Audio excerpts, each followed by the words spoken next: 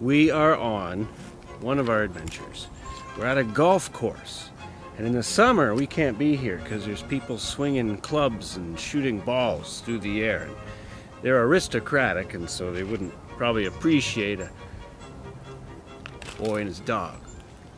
But in the wintertime, even though the signs say not supposed to be here, everyone comes and it's all good. Acres and acres of hills to run around in. It's wonderful. Wonderful. So the consolation prize for winter because the older we get, at least my peers and I, the less we seem to embrace and enjoy the winter season. Summertime, you, don't have to wear as many clothes, there's none of this snow. But on a day like today, it's not so bad. E boop. So, uh, that's the stand up. This is the A roll. Hello, A roll.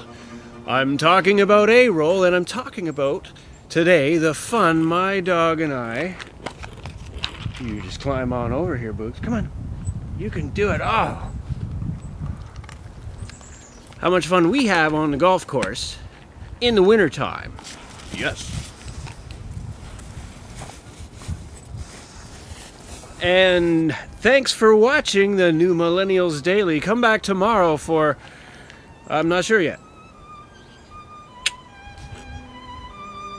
There's that thumbs up. I wonder what this thumbs up means. We haven't talked about that. Maybe tomorrow on the new Millennials Daily, we'll find out what the thumbs up is all about. Tune in for that. Bugger. Had enough cookies, young lady. You have had enough cookies. Oh, good girl. My ass is soaked.